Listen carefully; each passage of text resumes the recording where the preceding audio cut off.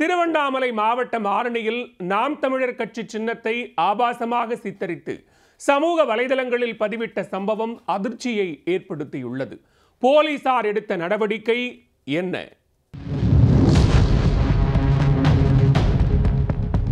நாடாளுமன்ற தேர்தலில் நாம் தமிழர் கட்சியின் விவசாய சின்னம் மறுக்கப்பட்டு அக்கட்சிக்கு மைக் சின்னம் ஒதுக்கப்பட்டுள்ளது. இந்நிலையில் அக்கட்சியின் சின்னத்தை ஆபாசமாக சித்தரித்து சமூக வலைத்தளங்களில் வெளியிட்டு சிலர் சர்ச்சையை ஏற்படுத்தியுள்ளனர்.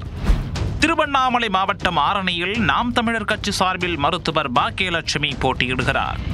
இந்நிலையில் ஆரணி டிஎஸ்பி அலுவலகத்தில் நாம் தமிழர் கட்சியின் தொகுதி செயலாளர் சுமன் ஒரு புகார் மனு ஒன்றை கொடுத்திருக்கிறார்.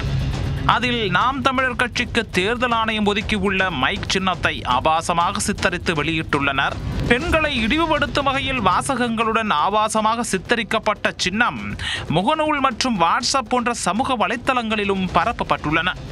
ஆரணி டவுன் பகுதியைச் சேர்ந்தவரும் திமுக கலை இலக்கிய பகுத்தறிவு மாவட்ட துணை அமைப்பாளருமான கதிரவன் இந்த செயலை செய்திருப்பதாகவும் புகாரில் கூறப்பட்டுள்ளது. இது தொடர்பாக விசாரணை நடத்திய போலீசார் புகாரில் உண்மைத்தன்மை இருப்பதை அறிந்தனர். அதைத் தொடர்ந்து கதிரவன் மீது ஆபாசமான விஷயங்களை அனுப்புதல் உட்பட இரண்டு பிரிவுகளின் கீழ் வழக்கு பதிவு செய்தனர். தொடர்ந்து தலைமறைவாக உள்ள கதிரவனை போலீசார் தேடி வருகின்றனர்.